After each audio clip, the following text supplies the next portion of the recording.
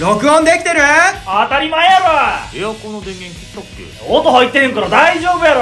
じゃあ始めようか。鍵閉めたっけ？えお前んちの話しとったんかい。ジャンクラジオでジャンジャジャンク。不安になってきたわ。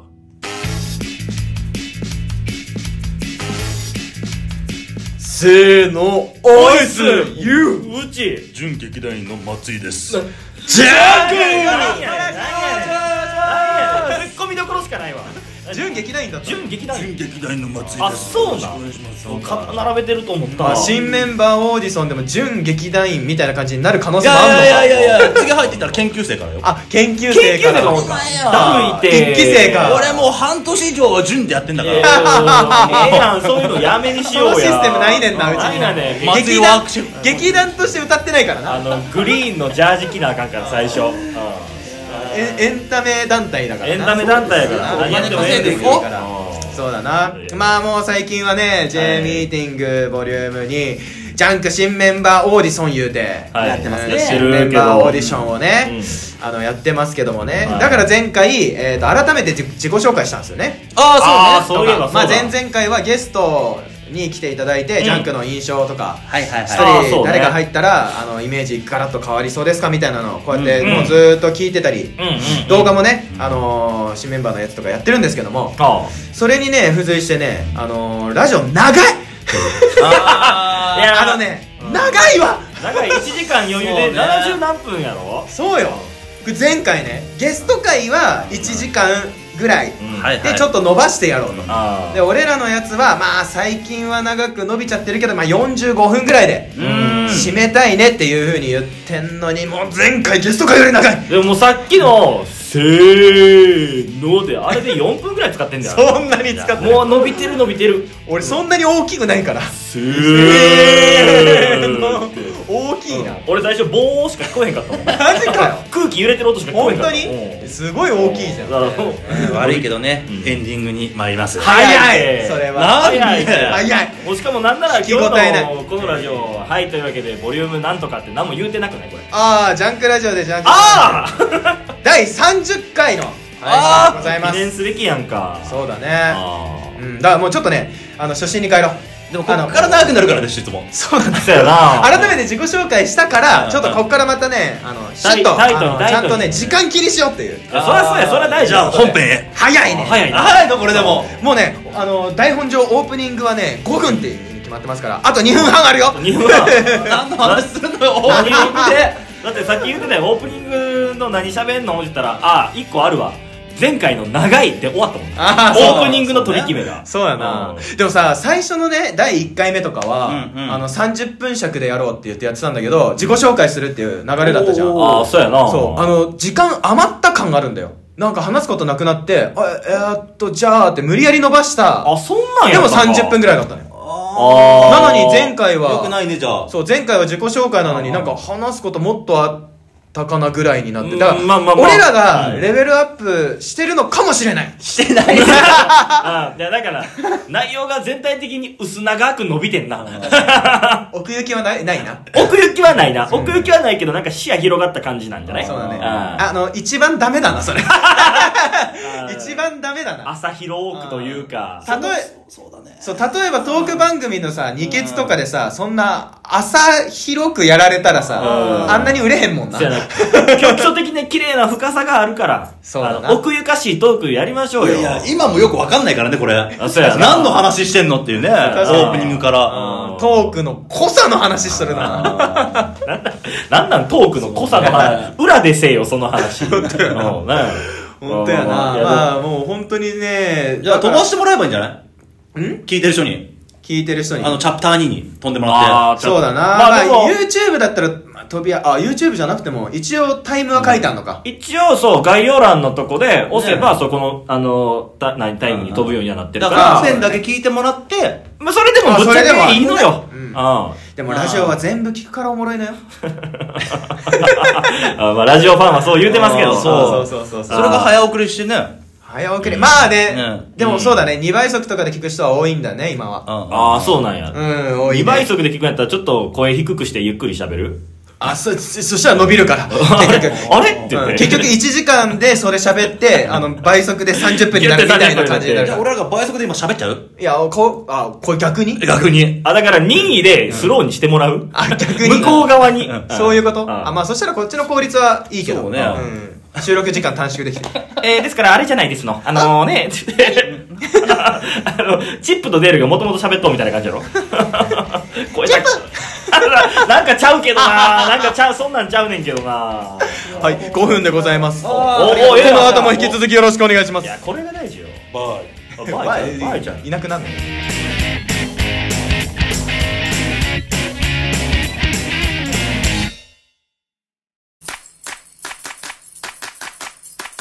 初見優内田翔太。誰だかわかるかな？お前、松井翔吾な。俺たちジャンクとは舞台の他にも TikTok、YouTube、ラジオなど多方面で活動している役者3人組です。詳しくは概要欄をチェックしてください。詳しくは概要欄をチェックしてください。それなんでもう一回言うたん？ジャンクラジオでジャンジャジャンク。もう一回お願いします。はいはいということで。はい本編いきますよ。本編は、うんあれか、なんかテーマを言ってね、テーマ喋っててね。これを何分ですかっけ、本編は。本編はえーとまあにまあ、なわけあるか、なわけあるか。25分やる感じ。一応ね。おー、結構長いよね。だからまあ30分ぐらいまでいくよこれこそうまく伸ばせば、あの、ちっちゃな話題でも、いい本編にはできるよね。そうだねなるほどね。じゃあ喋りたいこと喋り倒して。喋りたいこと喋ったらええのよ。ラジオってそういうもんやねんじゃあ私の家のお話をしてもいいですかね。おーいいよ。あ急に。急にですけど。そういうそういうもんよラジオ。本当、うん。あもう急でちょっと困ったんだけど最近もね暑くなったじゃない、まあまあね、だんだん暑くなってきたでね。ねあのねまた6月から電気代が上がると。上がる。そうなの？東京は15%え高っ。また上がんねんで。15%も上がでる。今からそれをね政府が認めちゃったのよ今そうなんですよ。いいですよっつって。何このエネルギー不足？だもうしょうがないよ。ロシアとの一応一応あるから。ああそのろうそくで暮らさんとあかんようになるよ。すわすわー。すわー。で そのね予行練習じゃないけどねちょっとね、あのエアコンもつけずに、うん。あの窓でも開けようかと、まあ今ぐらいだったらまだね。だね。でもまあ最近蚊がいるとおる。ね。もう出てきたね、ちょくちょく。開けたら蚊がバーバー入ってくると。あバーバー。これが良くないと思って俺網戸をねうん。閉めようと思ったのよ。うん。ほそしたらうちの部屋ね網戸がないと。あ？ついてなかったついてない。賃貸で網戸がついてないの多いらしいけど。あ、そうなの？なかなか。さここに来て気づいたの。ああそうそう。去年はこのね電気が上がってなかったからあそっかつけエアコン結構つあーけてて。そっかそういうことか。まあまあでもそのコロナもあったし、ん。まあいいかと思って。ほうほうほうやってたんだけど今年に入ってちょっとこれはエアコンつけづらいなと思って。15%はちょっときついね。15%どこまで上がんの？これ。これい結構だよやでもあれ北陸とかは40%よ。40%上がんの？40%北陸で？違う。30%えでも絶対エアコンじゃないときつくない？向こう。そうよ。暖房ないとね。死んじゃうよ。あのー冬場とかえげついんちゃうの？そうそう。えええーでだから俺もちょっとでも東京にいてね、うん。今ちょっと電気代も気にしてるしああだなと思ってでその網戸よ。ちょっと窓開けようと思って今から風通しがいいようにみたいなね。したらね網戸ついてないと部屋に、うん。何してんねん。のだからその自分で DIY だっけ？あの網戸を作ろうと思って。それすご網戸？をあ網戸の何？買ってきて？あの防虫ネットみたいなのを買ってきて、はいマジックテープで留めてやろうと思ってその。DIY マジックテープあんま使わんけど。あー。うこの外枠でね。そうそうそう。開けたり閉めたり自分でできるようにみたいな、んなるほど。うん、ちょっと自分でその窓の枠を測ってあーあでものメ結ジャーで。構やり始めたら大変なんちゃうん。いやいやでもホームセンター行ってその防虫ネットみたいなあの網目がある？あ粗粗いやつね。そう細かいやつ。買ってきて貼ればまあ窓開けてもその皮入ってこんかなと思って。まあまあね。で試してみないとって感じだね。それわかんない。でこの間そのメジャーで測ったのよサイズを、ん。窓開けてこう自分の窓枠みたいな、ん。そしたらちょっと待てよと。窓に溝がもう一個あるぞと思って、はいはい。もしかしてこれもともとあったんじゃないかと。あ、でもぶっ壊れてかもしれないね。あの、網戸が。本来ね、ちょっと怖い話してますけど、いや、怖怖ない怖ない。怖ない。全然怖ない。うん。本当は、うん。賃貸の怖い話いらんのよ。網戸があったんじゃないかと。うんいや、そうやろ。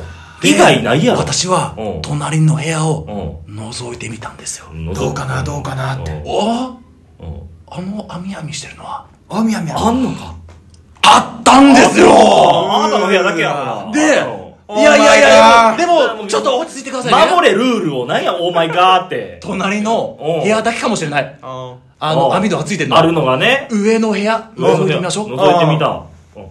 うんあったんですよーマイガオーマイがやめろって、世界観。網戸がミートが、もうそうな。で、私、は、これは大家さんに電話だと思って、はいはい。ああ、それ言ったらやってもらえるんじゃないか。電話したんですよ。はいそしたら、いい言いましたよ。ん大家さんは。うんうん。あのー、お宅のところに、あのー、溝はついてますか？窓枠にね。まあまあまあまあ。どうん うや知ってねえんだ絶対ついてるやろうけどな。うんついてますよーって言ったんですよ。おーお前。おーマイガーですよ。おおー、前。そっちさんがも言うたらそっち向いたらあかんねんけどな。えー、じゃあ、あのー、網戸が落ちてないですかと。外に。ああ。壊れて。なるほどまあよ、よくあることやもんな、そういうのな。うん。落ちてないですよって言ったら。おっしゃ、前の住人がパクってったんちゃうの私がね、だからもう、じゃあ業者呼びましょうと。おうおうえもう業者に連絡して、あの、寸法測ってもらって、入れますんで。ってうん、管理会社ねやってくれんの？うん。で、昨日電話かかってきて、管理会社が来てくれるようになったのよ。おおう家にねいいやん。いいやん。うん。ただ僕そこでびっくりしてよかったなと思ったのが、うん防虫ネットカバンでよかったなと思って。いや、そらそうオーケーお後がよろしいよじゃじゃじゃじゃじゃじゃあの、じゃじゃじゃあの、アメージングあノーノーノーノーアメージング。ありがとうございますあの、スタート地点から2歩ぐらいしか進んでない。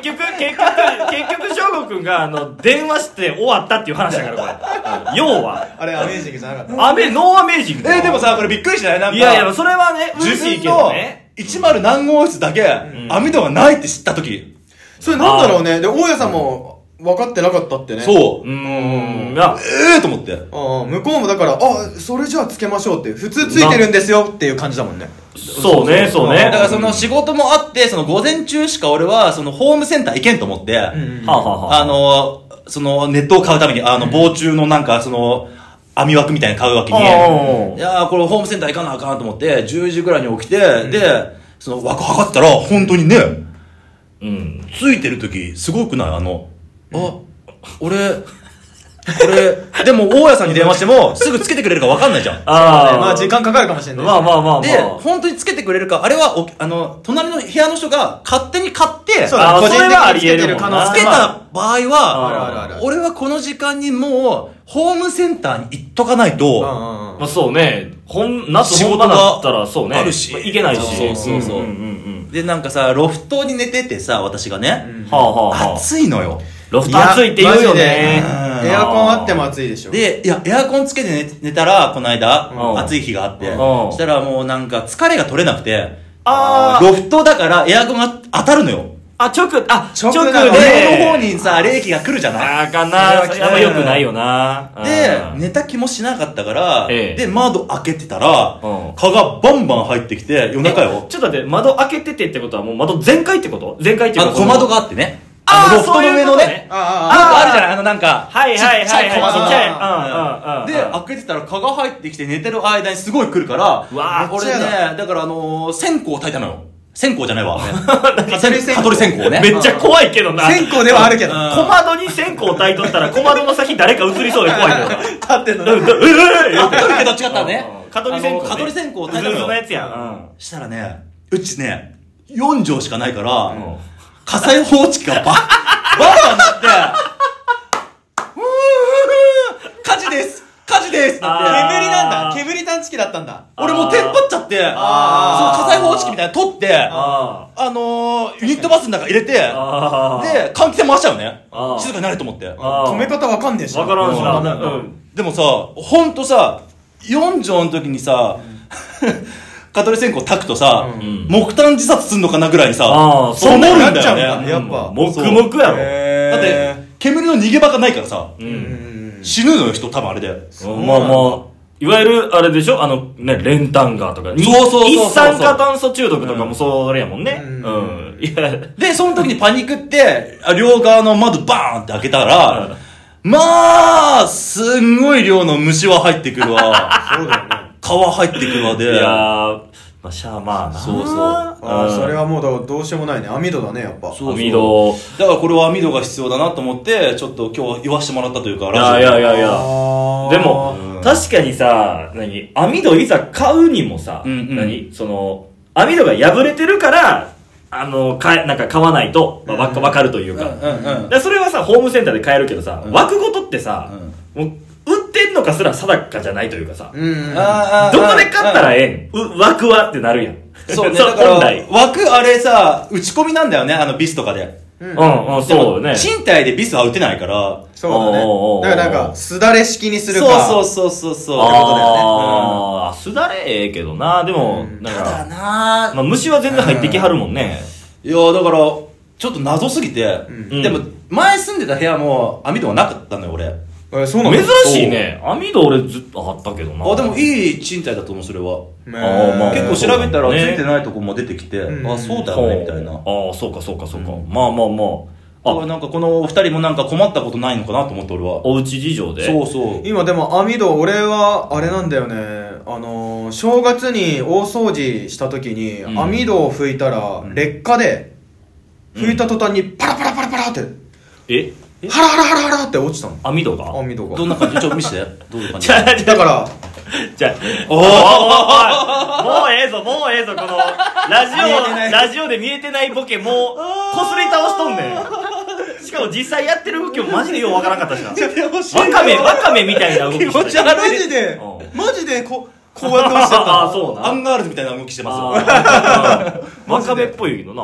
びっくりして、あ、こんな取れ方すんのと思って。うんうんうん本当に軽くいったら、あー上からもうベロベロベロベロみたいな。は大家さんに連絡して入れてもらったってことそう、あ、で、大家さんに連絡して、で、あの、入れてもらう業者に連絡来たんだけど、うんちょっと日程合わないまま、うんずーっともたもたして今に来てる。あ、網戸ないのじゃあ今。今だから剥がれちゃってる状態のまんま。でももう、もうそろそろやんなきゃなーって思ってたんだけど。網戸、網戸、張り替えたろか？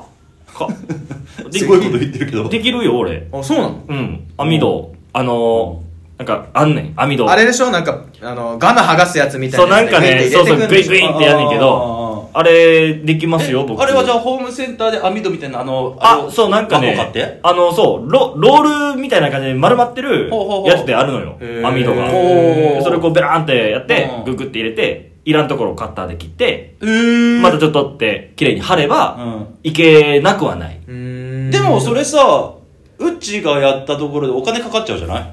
まあ、その網戸をね材料では、あれかかっちゃうから、大家に言えばただでやってく大家さんとか多分もうかやってくれると思う。もう完全に劣化だから。で、一回見に来てくれて、そうだよねうんそう、でも劣化なのはもう分かってくれたから、ああーこれもうダメだ、劣化する。もうじゃあもう、はよ言わんと。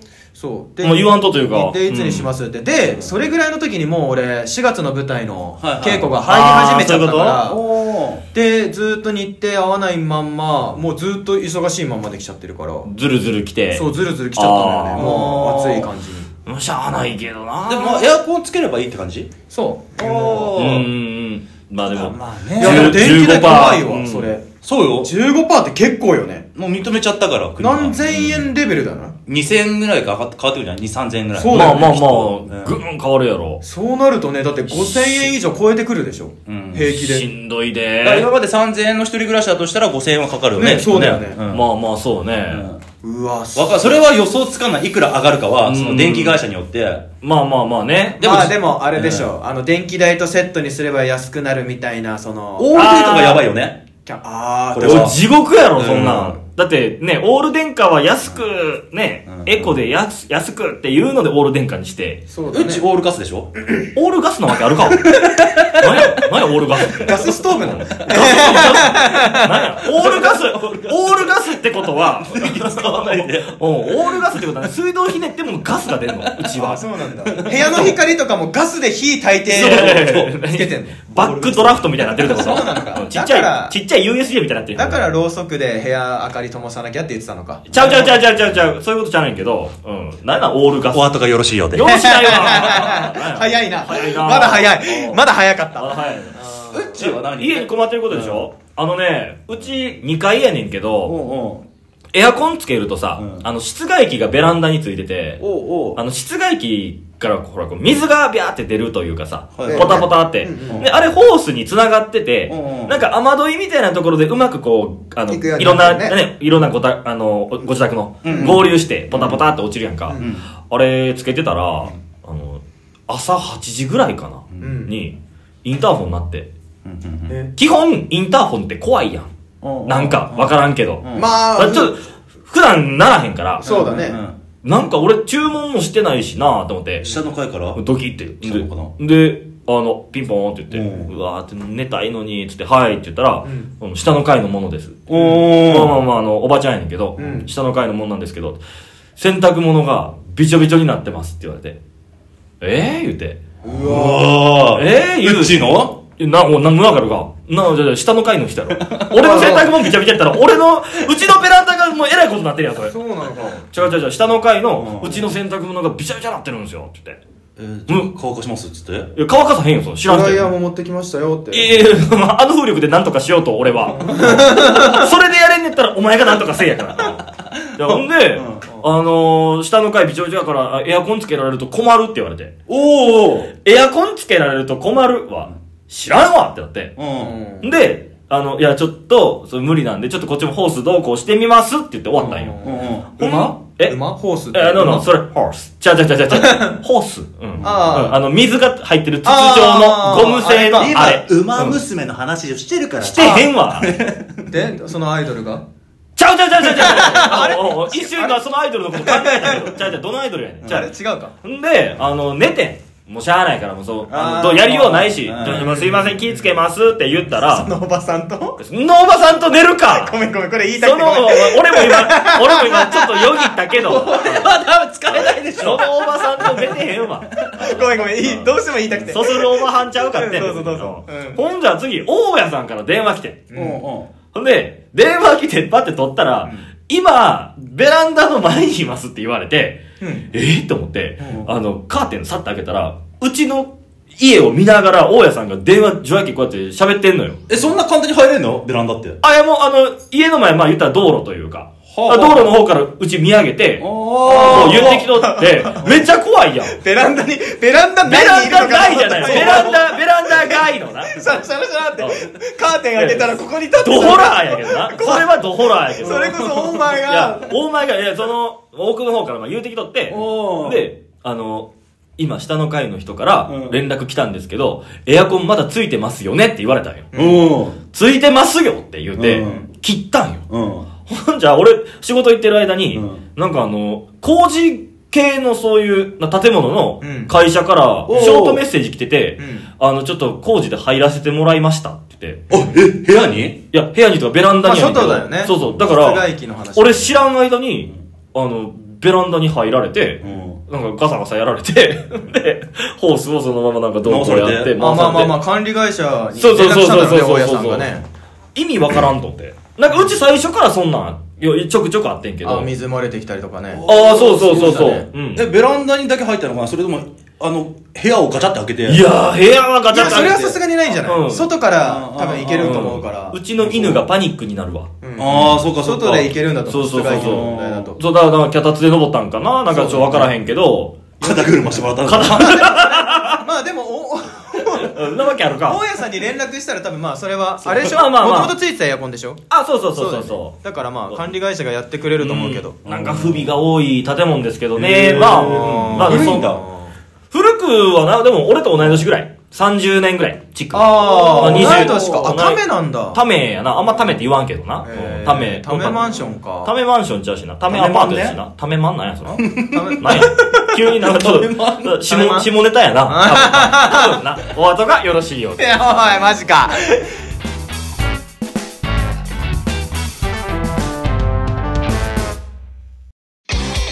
ジャンジャンジャンクラジオでジャンクラジオでジャンジャジャンクはいはい。続いてはこちらのコーナー。なんや。クイズおー、久々やな。はい。あ、でも月1ぐらいでやってるな、クイズ。そうだよ。今日も来たの？来ました。もうね、すぐ来て、あのー、お便りくれたんですけど。うんおーそうそうそう。ちょっと、さすがにクイズ続きでや。あ、まあまあね、いや。クイズ続きいや、クイズ続きで、いや。それはなんかな。うん。笑い、笑い飯のネタの入り方。ちょ、さ、最近クイズ続きでやーっていう。おかしいやんな。あああ、あそうね。だからまあちょっと時間を置いたんだけど。はいうん。あの、違う方からでしょ？いつもの方じゃなくて。いつもだよ。いつもだよって。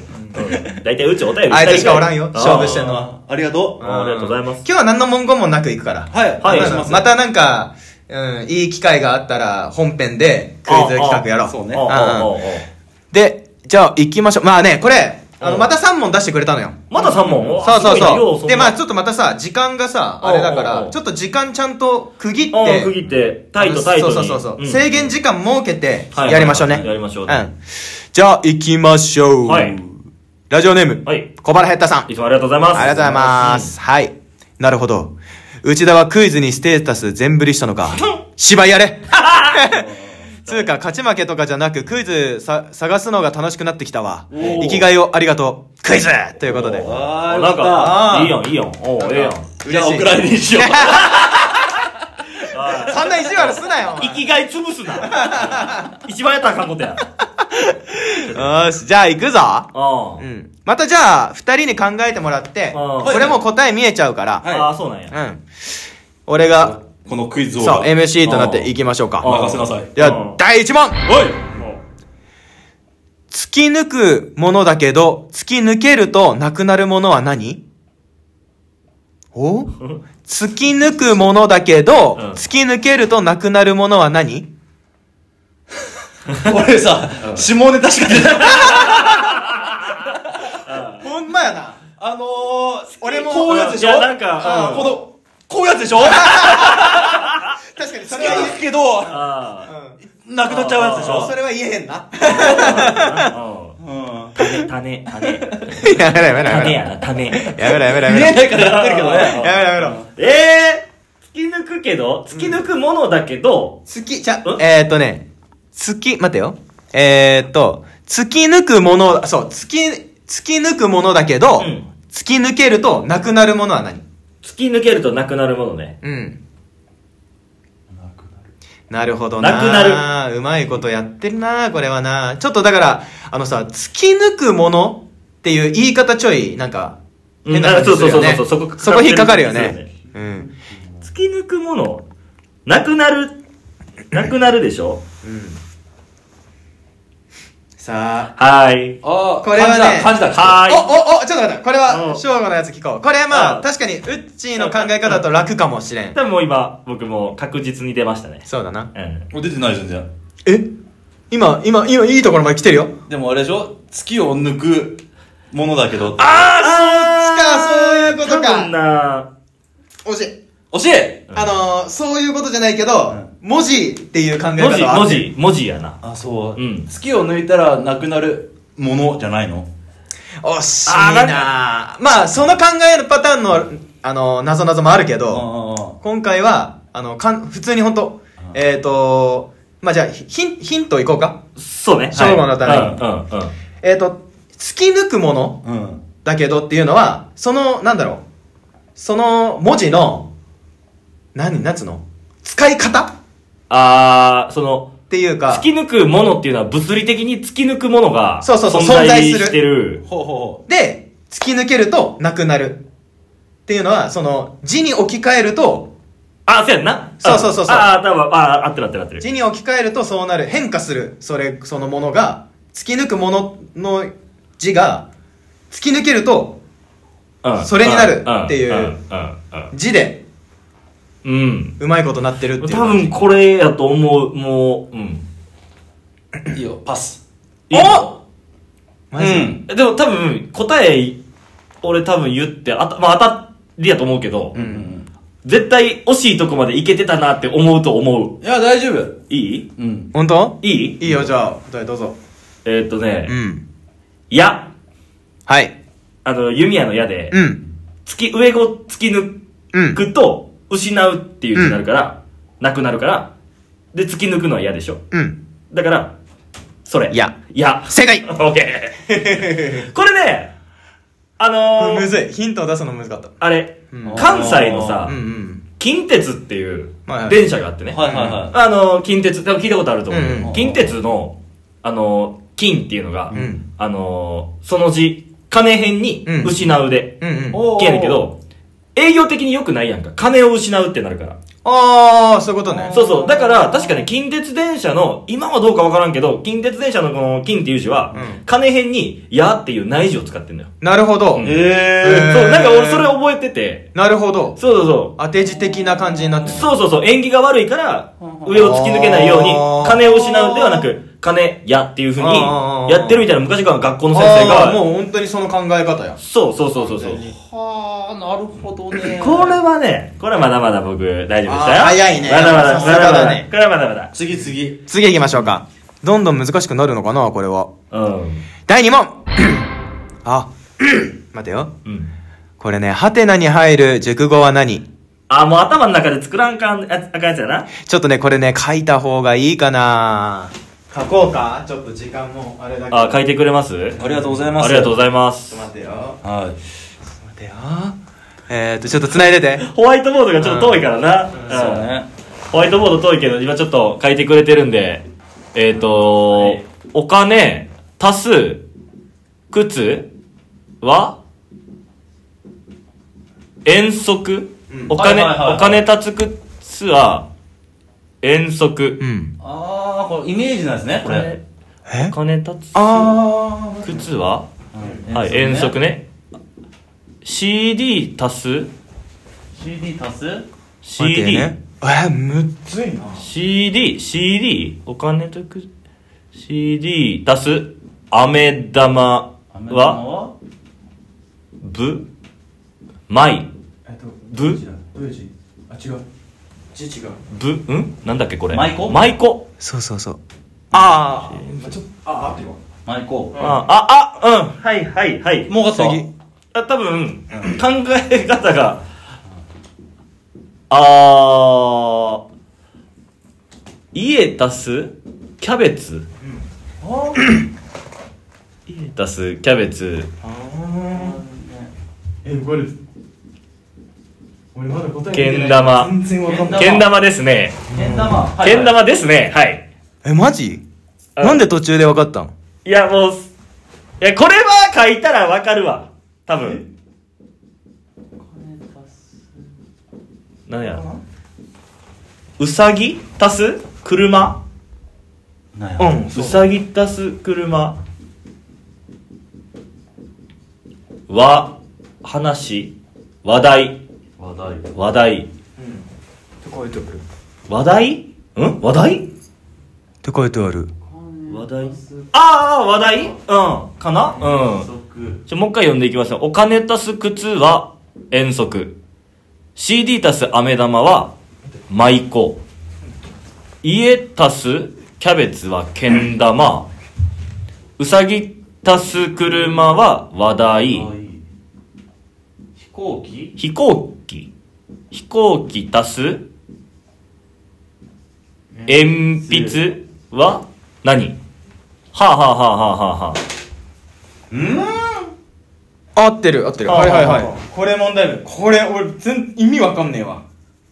お金足す靴は遠足。え？家足すキャベツ剣うさぎ俺あ分かるけど分からへんなあ、あ、うん。分かる分かるよ。その考えか考え方はもうあれやでけど。うんうん。え？どんな？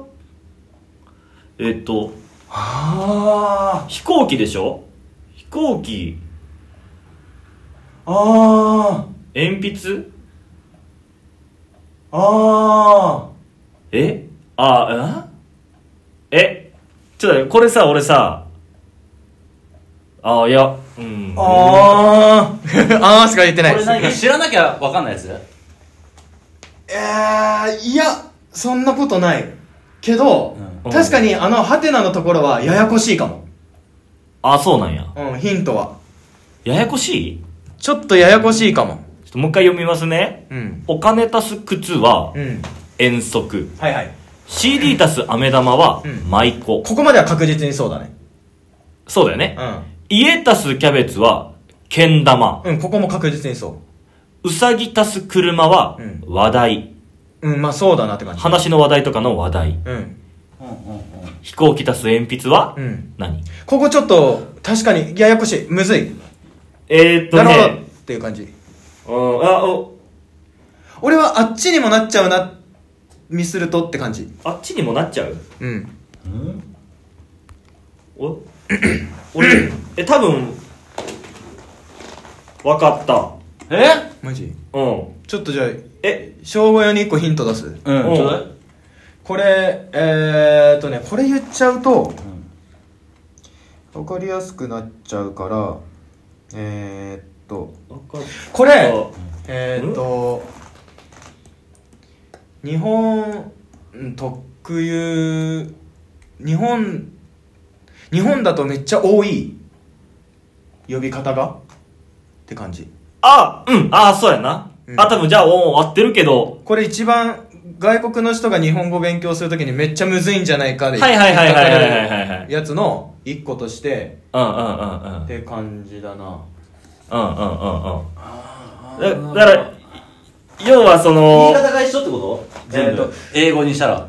あー、でもそうなんだけどそうそうそう日本語だとうん。じゃあこれめっちゃヒントださ、うんめっちゃヒントちょっとあのラジオの人すいませんねでも、うんうんうんうんうんうん。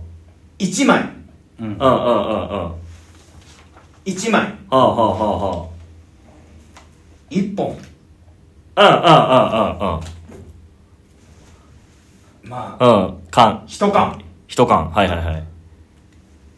うんうん。なんか今、いろいろ、ラジオも、音声を置き去りにしてますが、俺が座ってるこれ1脚うん、多分、はん。だ、多分ね、これみんなも書いてもらったら多分な、わかる人は、そうだねこれでも俺ややこしいね俺多分、お金足す靴でうん、遠足、うん CD 足す飴玉の時にう、ん。舞妓で、うん。俺ちょっとピンとは来たんよ。うんうんうんうんで、うさぎ足す車で話題ってなった時に、うんうん。話題ってなってんけど、まあ、そっかと思って。そうだね、うん。そうだね。あわかった。あああここまで来てる。おおおおおおあのー、ヒント出してあげようか。あー逆に逆にな逆にな。合ってるかどうかの？あれでしょ、あのー、呼び名でしょ？うんうん。うんうんうん。うんそうそうそうそうそうそう。んだから、あのー、靴だったら、うん。何足とかでしょ？そうそうそうそうそうそ飴玉だったら、玉だから、ううん。前このあれをなんか刺すんでしょ？うんうんうん。うんだから、あのー、キャベツだったら、うん。何玉って言うじゃん。うん。うん。あ、おうおうおう。けん玉でしょ？うん。あ、あ、あ、車だ、話題、だから、何台っていうやつでしょ、あ。そう、そう、そうだよね。鉛筆だから、えーと、何本だ？そう。何本？その、こっち側がわかんないの、左側が。あの、あー、あー、え、多分ね、これね、あ、だからこっち側が、うん。そ、その頭になるんだ。そうそうそうそうそう。お金、うん。金うん。の円ってことでしょ？そう。あ、円だ。おお円。来てるよ CD だから、枚、枚だ。おうおう家だったうら、ん剣か。うん剣玉。うんおうあおうおううさぎだったら、わ。うん飛行機。飛行機。木。うん木。え、何木って言うよね。うんうんうん何木木。頭が木だ、これ多分。うん木。水。基本。あ違うのよ俺これ二つあんねんけど、あ、やっぱそっちじゃないんや。ねだから二つあるよね。俺どっちやろって思って、え、どっちも言葉ができてんけど、どうぞ。うち。俺も飛行機って俺1機2機で数えてたから、うん。俺これ基本かなと思ってんけど、んもしこれが1台2台って乗り物やから、うん。うん。でやってたら台本にもなんのよ。あで、まあ俺ら役者やから、うん。そっちに当ててくれてんねやとしたら、うん。台本って思ったけど、正解。あ、やっあぱ、あ、そっちだ飛行機って台って呼ぶの？俺も、俺木やってだから、一番最後ややこしいって言った。俺も何木っていうイメージだから、基本って読めちゃうなと思った。そうやね、そうやね。だから俺、いろんな呼び方、俺、うさぎがさ、うん。普通さ、うさぎってさ、まあ、何匹の方が、まあ言われるけど、まあ本当はまあ和だね。そう、本当はね、うんあれ、なんか、1話、2話で数えるけど、そう、だから、飛行機は俺も1機2機って呼ぶなっていう感じ。だから基本ってゆ呼びがちだけど、台本だね、答えは。そう、だから、うん。あのー、前、1台って読むのかな？前、友達があのガンダムをうん、1台、2台って数えて、おうおう。あ、一機とかじゃないんだ。ガンダムは1機、2機じゃねって話だった俺も1機2機だと思う。でも、どっちってないよなっていう話になって、なんかそまあどっちでもいいのかなまあどっちでもいいんかな。いや、だからこれこそさ、日本人のさ、むずい。えこれ日本人でもわかんなくあなーいでもだって初号機はさ、うん確かに確かに確かに、初号機。そうよ。木だもんねうんあ、でももうさ、これあれじゃない？答え方が全部もう今ピンと来てたから、うんもう実質小国正解正解。いやーそうありがとうございますねでも多分これ俺あ、この問題出すからには、基本でもいいと思う。うんうんどっちが正解だかちょっと正直わかんないもんね。でも出してくれてたのが、そう、答えは台本だった。だよね。うん。ああ。いいね。いや、でもこれいい問い題やな。やーでも、うん靴がさ、最初が靴が分かりやすいよね、きっと。わかりやすいあーでも分かりやすくやってくれてるねね。うん。そうね、でも、そうね。飴が分かんなかった。飴ね。単純なんだな。玉って、えってう。ん。舞子の、ね、うんそう、だからもう上のやつだけで俺言ったな。CD1 枚2枚やから。そう、だからこれ、って。そう、全部、例題は割とちゃんとし、うんそうだなと思うけうど、ああ、これ、飛行機足す鉛筆はややこしいなとは思った。そうやなうん。だから、ああ、これ二つあるな、みたいな。うんうんうんあ、そうやんの。でもいい、あ、いい問題です。ありがとうございます。よっしゃ、まだいけんだ、あと5分。あと5分？あるよ込むね。ラスト。ちょっとこれはもうちょっといくよ。はい。酔っ払って水族館に行くと入場拒否されてしまいました。その時に呼ばれた4種類の魚の名前は何でしょちょっと全然意味わからん。う酔っ払って水族館に行くと入場拒否されてしまいました。その時に言われた4種類の魚の名前は何でしょ4種類の魚の名う前？そう、これ結構謎々だね。完全に。4種類の魚？もうそだから、酔っ払ってるよね。居酒屋行ったら好きなもんだよね。ホッケ。あの、アジフライ。う。いや、じゃ4種類の魚の名あ、前。4種類の魚の名前を言われた。それが多分言葉になってるってこと？ことうん。だよね、うん。のそういうことそういうこと。断った時の。うん、そうそうそう。なんか、隠語っぽく言ってるけど、あそれがアジがサバでなんとかってことでしょ？そうそうそうそうそう、そう。そう、めっちゃ考え方そう。そうそうそう。ってことは、えーっと、ん。酔っあれは払ってるから。酔っ払、鮭、鮭。はいはい。鮭？入ってる？鮭が入ってる、鮭、まあ鮭だから、さ、酒、酒。さ、鮭、入ってるよ。鮭、あーあとなんだ？酒、早く。く、クジラ、マグロ。マグロ。鮭鮭、酒。で、魚、魚、えーっと、アウジ、ツボ、ウツボ、うなぎ、え酒、ーと、さ、か、かっぱ巻き。寿司屋になってない寿司屋来てる寿司屋にな 酒、酒酒、味酒、うん。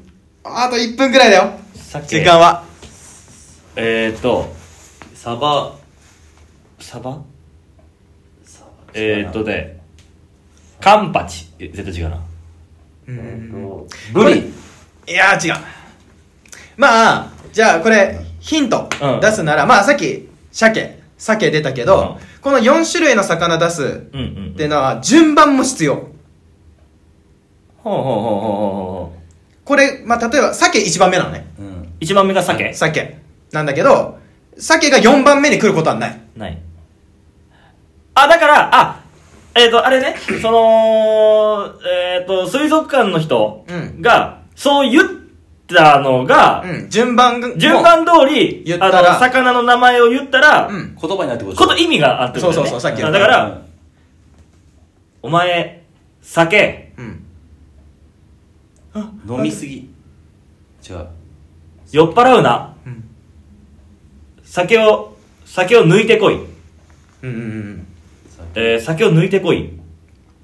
酒、わあ、これ分かる人いるかなリスナーでも。酒抜いてこい、来い。酒抜いてこい、来い。おおおおおお酒、なんとかなんとか来い。うん。4番目は恋。恋。恋。うん？うん。鯉いるでしょ。うん。4番目は鯉。鮭。えー、頑張れえー、もう、もう時間が。鮭。鮭？なんだ？え？魚詳しくないと無理じゃない？こいれ。や、絶対誰でも知ってる。誰でも知ってる？うん。あー、もういいか ?10。ロスタイム、ロスタイム1分、ロスタイム1分。あー、いいよ、いいよ。酒？ちょっと待って、なんか、俺、普通に魚を忘れてそう。えっ、ー、みとん、なが好きな？みんな知ってる魚酒。ではある。酒。で、えーっと。寿司屋にある。ん？寿司屋で頼む。あるけど、うんある。あるけど、あー、いや、いや、あるけど、ない、ないやつもあるかな、寿司屋には。はあ、はあはあ、でも水族館には絶対いる。ああ、じゃあ結構大きいね。うわべ、ひらめいた。うん。すげえ。えー俺もう、アサリとかしか思いつかない。なんで貝なんだよ。全部魚なんだよ。まあもう時間ないから行こうか。うち。うん。いいよ、4種類。酒。はい。サメ。はい。こ、ここなんだよ。酒。たらこ。た、たら。酒。サメ。うん。たらこい。正解おいおいおいおい酒、サメ、タラ、恋。ほらうんうん。酒、冷めたら恋。んな、無理だよ。すげえ俺完全に回転寿司行ってたもん 俺、よ。じゃあ俺さ、あの、水族館には絶対いるって言って。水族館にいる。俺、俺あの、ジンベエザメ出てきて、うんうん。サメ。サメ、タラ。タラ。そう、いや、たらこになってん、途中で。うん。あれ？あかん、調理されてると思って。あ、でもそれもあんのか？って思って。で、最後恋がもう決定してたから、うん酒サメ、なんとか恋。酒サメ、タラ、タラって、タラがい、タラちゃんが走ってきた俺に。すごいわ。おれ部成功。正解。そう、これちょっとまた種類違う。じゃあ最後ねじゃあね、今日のはマジで。意味わからんすぎるって。むずすぎるわ、これ。最後はちょっと、ちょっとニュアンス違う。ちょっと最後は、あの、なんか順番がとか、あの、それで合ってるっていうのが埋めてってくれたから、まあこれ、あのー、小原的にはヒント出させたからね。あー。多分今ヒントなかったらここまで無理だったから。無理無理、絶対出てこない。ヒント出させたから、これは一歩前進じゃない？小原ヘッダー的には。そうやな。うんそうね。いや、ちょっと、いや、ちょっと、むず、むずすぎる。これ、俺こんなん言うてええんかわからんけど、ラジオ向きじゃねえ、これは。むずすぎる。文字書いてるしな。文字書いちゃってるしな。これむずいまわ。あ、わちゃわちゃ楽しかったです。楽しかったですはいありがとうございますまた何でも、あのいやーよかったよかったありがとうございますお願いします。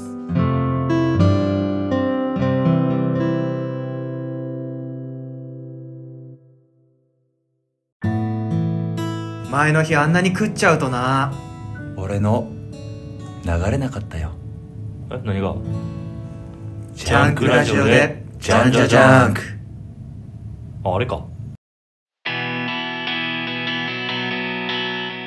はい、ということで、そろそろお別れの時間でございます。はいえーと、このラジオではね、お便りを募集しております。うん概要欄からお便りフォームというものを、あの、ご用意しておりますので、URL タップしてもらいまして、必要事項をずらーっと書けるようになっておりますので、そちらで書いていただいて、送信ボタンを押すだけでございます。よろしくお願いします。はいはい。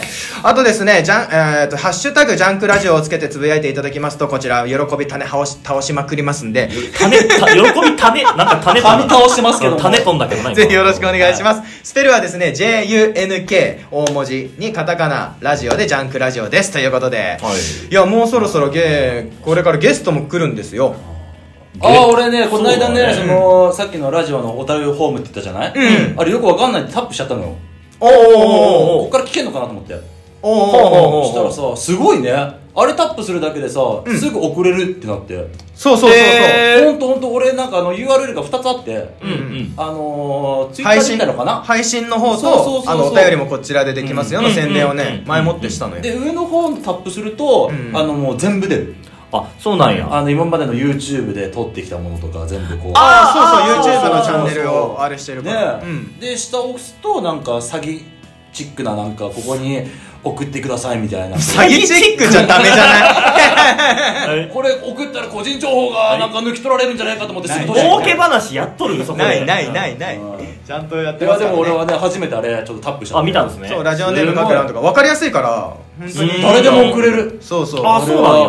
本当にコメント感覚であ楽しかっただけでもいいから送ってほしいね。あそうですね、うんいやいやいやいや。よろしくお願いしまー疲れるねやっぱラジオね。そうよ。まだ今日これからゲストも来ますからね。あ本当。そうね。はいまたラジオもう一本撮って、うん。YouTube の企画もやりますけどもう来るよ。すんごいお腹空いてきたから一旦帰っていい？いやダメよ、一旦帰ったらもう帰ってこないなこの時間。ああそうやな。俺も俺も一旦帰ったら無理やわ。ご飯炊かなあかんしな。まあいやいやいやもう腹減りましたわ。もう一踏ん張りしていいうまい酒飲みましょうよ。そうですね。よかったよかった、うん。こうやってねなんか来てくれるのにねお便りがねやっぱねだそうやな。ほんまにそれやわ。嬉しいね。うん。うんうんうん。ラジオ冥利につきますよ。なんか俺も慣れてきたもんクイズなでもななんかちょっと。ちょっとやっぱ進化してきてる。進化してるよね。こういうロジックでしょみたいな。これはねちょっとね面白くなってきてる。面白くなってきてる。違うんだと思ったらじゃあこっちみたいな、うんうん。ちょっと分かってきたよ。頭柔らかくなってきたあのね言葉遊びとかをねウッチーからね、うん。教えてもらってね。そうだね。あーそうなぞななぞ系は結構ダジャレっぽかったりもするしね。そうね。最後のやつもうダジャレやもんな。うんねうん本当に。いやーもうちょっと来週もねこの後ゲスト会でまたあの収録するんで、はい。来週もぜひ聞いてください、お願いします。はよろしくお願いします。もう終わろうね。うん。今日はこれで撮ります。暗転。バイバイ。いやいいタイム？